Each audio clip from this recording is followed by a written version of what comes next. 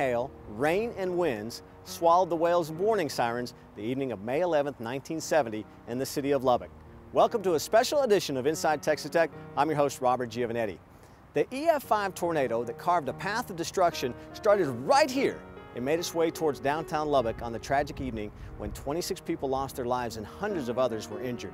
Tonight, we take a look back at stories of resiliency and determination and how Lubbock and Texas Tech rose to the challenge of rebuilding the city and understanding the power of these extreme storms.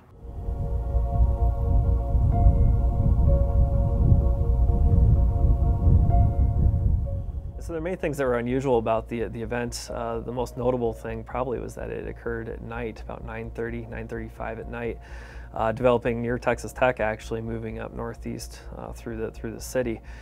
The, the, storm initiated uh, on a uh, what we call a retreating dry line, and the dry line is a very important uh, boundary out here in West Texas. Usually, what happens, the dry line moves east during the day. Give it about three, four o'clock, peak heating. Storms will fire up. Then the dry line comes back at night. What's rare about the Lubbock tornado is the dry line was actually coming back and about 9, 10 o'clock is where thunderstorms began to fire up right around Lubbock. So the fact that we had severe storms pop up along a retreating dry line is incredibly rare. It's very, very unusual for a retreating dry line itself to initiate a, what we call a supercell thunderstorm. That's the parent thunderstorm of the tornado. Uh, in this case, it happened though, and uh, for reasons that we'll probably never you know, firmly understand. If you just say to people, meteorologists anywhere across the country, the Lubbock tornado, they're going to know what you're talking about because that was a very well researched tornado after it developed. Dr. Fujita came to Lubbock, studied uh, the tornado, and actually proved things like multiple suction points within a tornado, proved the path of it. It was looping around as it moved through parts of the city. I hope I never see anything like that. Um, over the past few years, we've had deadly tornadoes in 2011 in Alabama and Mississippi in the deep south. Uh, you go to 2012, what we had across the Midwest, last year across Oklahoma. You never ever want to see anything like that. You have to be prepared, but you hope you never ever see that. May 11th, on the, the, next day was May 12th. I had a chance to go down there. There were two things that really impacted me. One is I could not figure out how a straw was stuck inside a utility pole. Couldn't figure that out. I now know that the wind of the tornado had twisted it, opened up the pores of it, the straw went in and it snapped it back. Okay, but I didn't know that. The other thing was I was fascinated by a house that was completely destroyed, all right, except for the toilet. And on top of the toilet was the Bible opened up to Psalms. Now, how did the Bible survive on a toilet? Everything else is gone. You hear stories about that all the time in tornadoes. Why? Because tornadoes are wind. Every wind event is different, but tornadoes are wind. That's the thing we need to remember.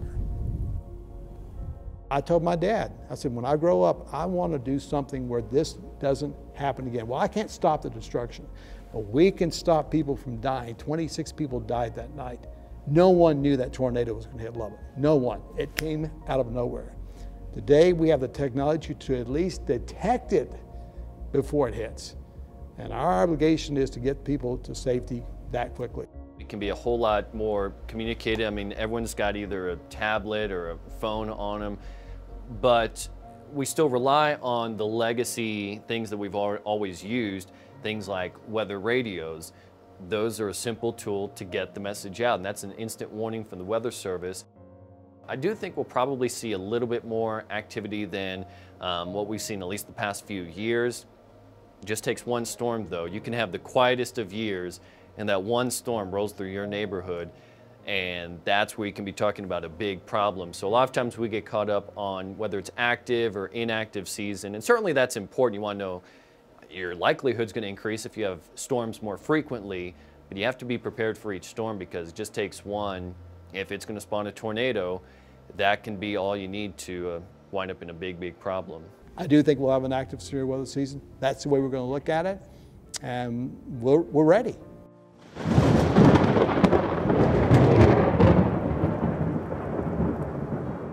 In May 1970, on a very clear West Texas afternoon, then Assistant Professor Dr. Donald Harragan and graduate student Larry Tanner were going about their typical day without any word of a severe storm. That evening would not just change their lives, but start the building blocks of what has become one of the leading research institutes of wind and extreme weather. As I recall, there was uh, uh, no forecast at all that morning of anything uh, that was going to be going on late that afternoon. So I had a very normal day uh, at the office. I grew up in Texas and, and dodged lots of tornadoes. 1970, uh, uh, I was working downtown while I was a student. There was just a smattering of clouds that were beginning to form when I went to dinner uh, that evening. And so the thunderstorms that developed developed very quickly. And I had actually left uh, the, uh, the dinner and was driving home. And right around uh, Broadway and Avenue Q, I got into a tremendous uh, hailstorm. There was a little shed right outside of what then was the Brookshire Inn. It was a steakhouse. And the Brookshire Inn is now Gardski's, the same, the same building. And there was a little shed that I pulled my car in under to get out of the hail, and then I went inside.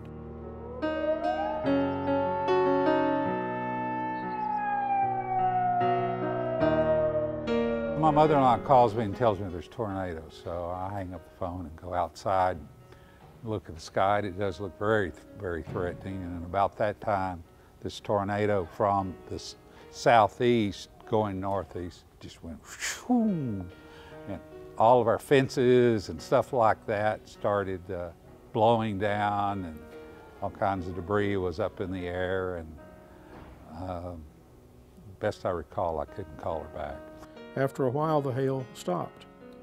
I remember very well that I I just had the feeling that something wasn't right. There was one, one tornado that went across the country club area. Then there was another one that pretty much came down 4th Street, uh, missing Texas Tech uh, barely, toppling a lot of the big light poles uh, at the football field, and then went all the way through Overton, on the ground, all the way through uh, into the uh, downtown city. We were up on the second floor, and I suggested that we probably should all go down downstairs. That uh, and about the time we were going down the stairs, uh, all of the windows uh, blew in, and the in the uh, all the glass blew out in the building, and much of the glass was still in. I was covered with glass myself. The roof came off of the building. I decided I need. I had my wife, who we lived out in the southwest part of Lubbock. I had a one-year-old daughter uh, at the time, so I was anxious to find out if any if they were okay. So I got in my car. You couldn't drive in the street on Broadway because there were high power lines, high voltage lines in the streets. So I drove down the front yards, finally got home, and it turned out that uh, uh, the storm had not uh, done any damage in the southwest part of town. Our uh, commercial facility was totally leveled by the storm. And so I worked in the storm and the debris for many, many weeks. It was the beginning of the National Wind Institute. That's when we got into the research. Uh, at that time we had two young professors that were uh, looking for a research field and we ended up having the whole city of Lubbock as a, uh, as a research uh, venue. If there's any place in the world that uh, is uh, in, in the business, in research, in wind, in storms, uh, in storm shelters, Texas Tech has been involved uh, in all of that. over the years and is one of the leading institutions in the world in studying severe storms and tornadoes.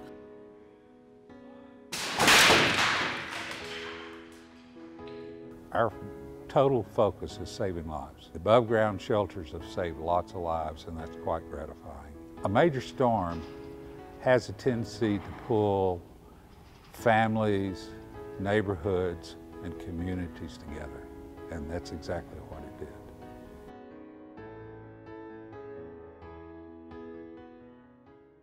Texas Tech's leadership in research of extreme weather is not limited to the high winds of tornadoes. They also deploy a team of specialists who research the damaging winds of coastal hurricanes. Let's take a closer look.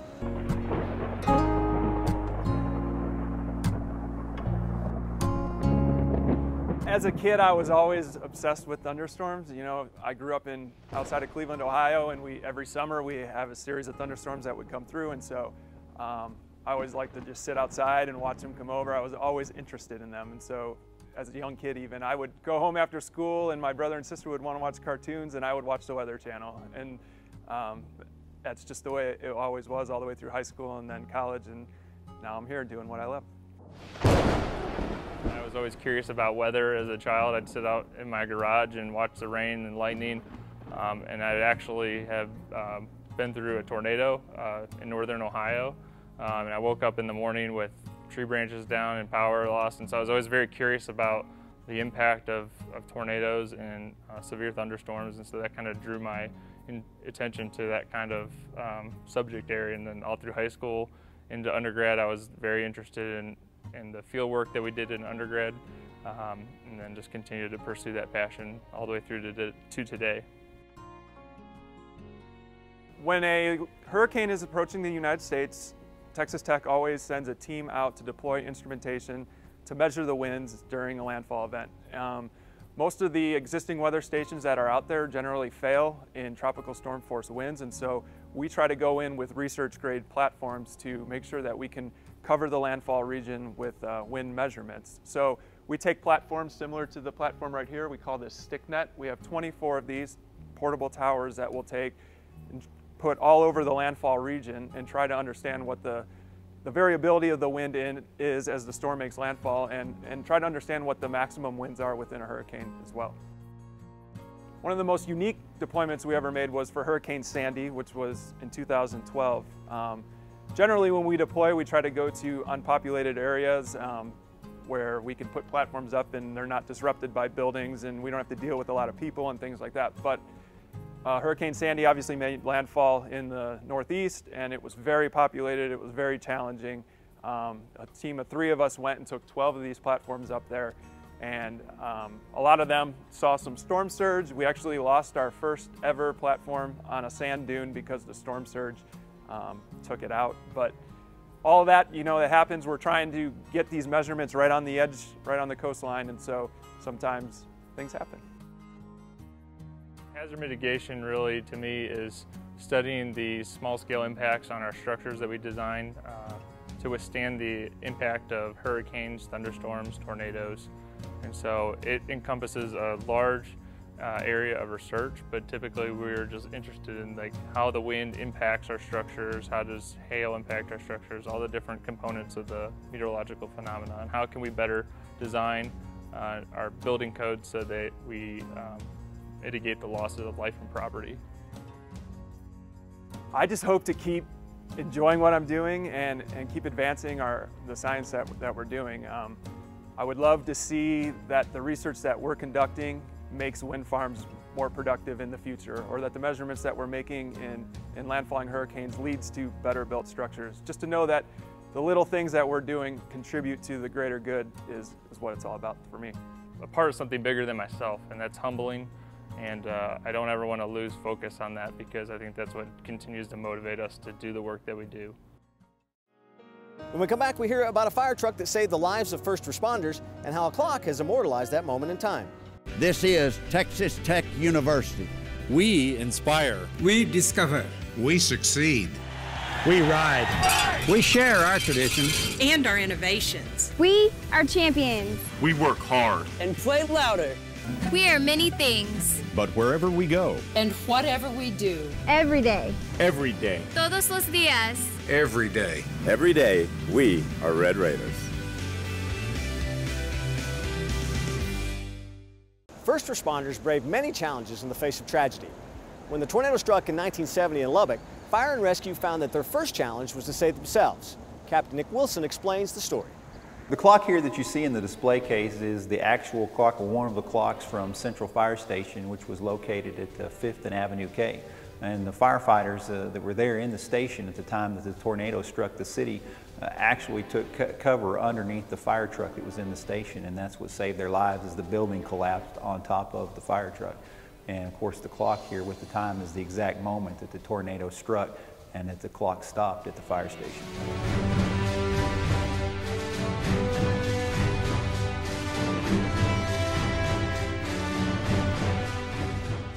You know, I, I, guess what I get out of it is just, you know, the respect for the weather, for nature, for what a wind can do. Even, you know, where it's, it's not necessarily a tornado, it's just a severe thunderstorm, the amount of damage that can be caused by hail. And, and you can only imagine how bad it would be if an F5 tornado or something similar were to come through a, you know, a populated area like here in Lubbock. We really start the response for a severe weather event before that event ever occurs. Uh, we spend a lot of preparation through the year just because uh, you know, not only the history here in Lubbock, but if you look at, you know, nationwide and the part of the country that we're in, we know we're at a, at a high risk for severe weather. In the early hours of an event like a large tornado really is one of the most challenging things. Uh, particularly tornadoes that occur at night. A, a lot of times it's not until the next morning when the sun comes up that we can really get a good grasp of the scope of, of the incident. People that are calling for help and even rescuers that are trying to describe where they're at like you said, all those landmarks are gone, trees are gone, street signs are gone, houses, all those things that we're familiar with that help us find our way and really get a reference point of where we are and where we need to go, those things are gone. So, so even, even people that have lived in a neighborhood their entire lives suddenly find themselves lost. I'm very fortunate. I have one of the greatest jobs in the world. Uh, really one of the best things about this job is no two days are ever the same. Uh, you know, I knew even when I was in college that I didn't want to sit behind a desk eight to five and, really have that same monotonous thing every day. And, that's really the great thing about this job is, is that every day you come to work, you get to see and experience something new.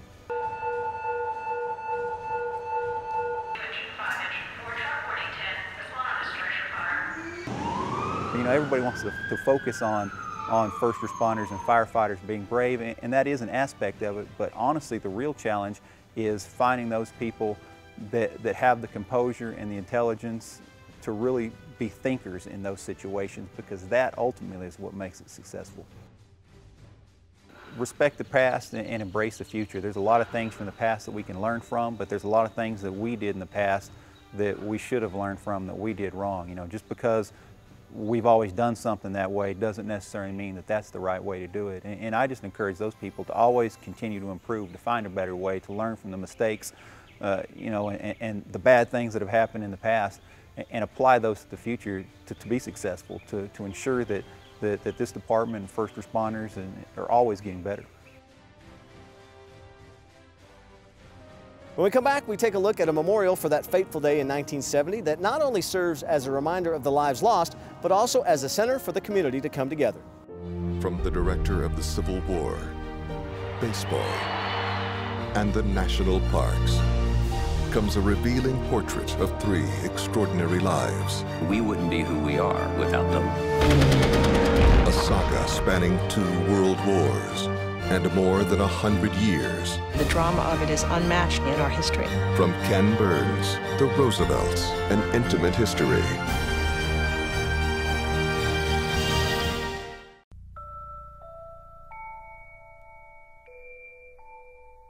Following morning, uh, my father and I decided we were going to venture into the Guadalupe neighborhood. And you could see all the debris on the streets and, you know, tree limbs. There's like nothing there.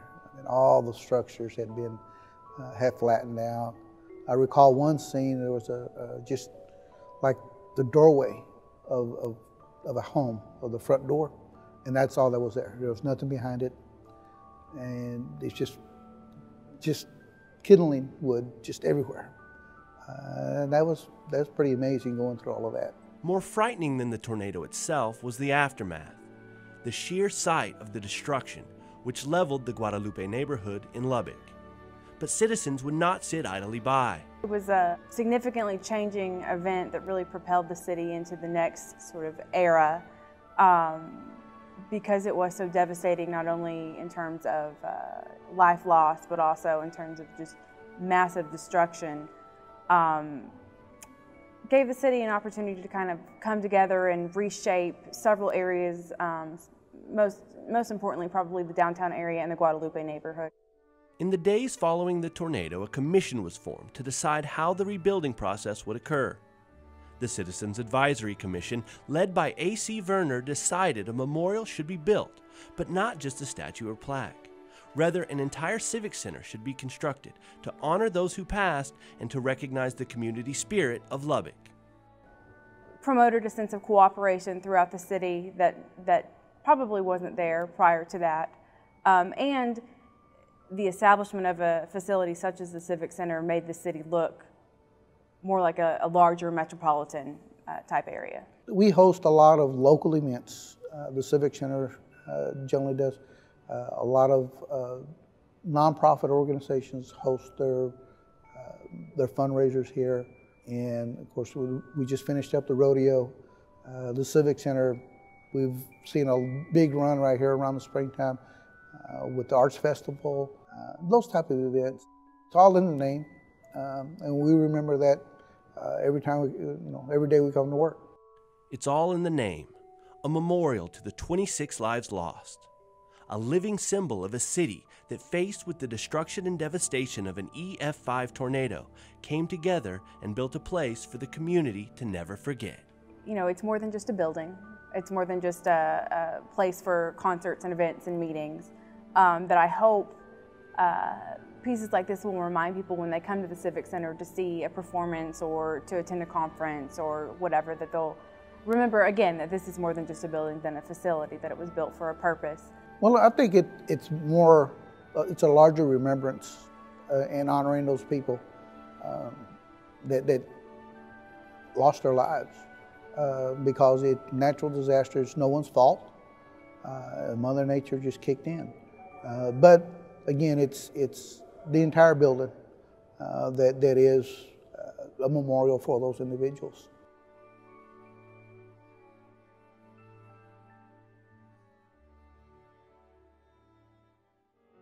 The storm in 1970 opened the eyes of Texas Tech administration to the importance of campus preparedness. Communication and technology has evolved since 1970, leading to new ways in which Texas Tech prepares its students, faculty, and staff for extreme weather. We would begin monitoring the weather when it comes into the area. So we start watching it. Uh, but let's say that severe weather uh, is approaching or is now in Lubbock County. We would begin alerting the university community to seek shelter. Uh, you know, if it was a severe hailstorm, if it was a tornado, something that could cause serious damage or harm to individuals. We would begin alerting the university community to seek shelter. It's important that we get that message out as quickly as possible and and by having prepared messages, which we do, we have prepared, messages for uh, many scenarios, uh, that helps cut that time, even if by a minute or two, it can be valuable in a, in a time of emergency.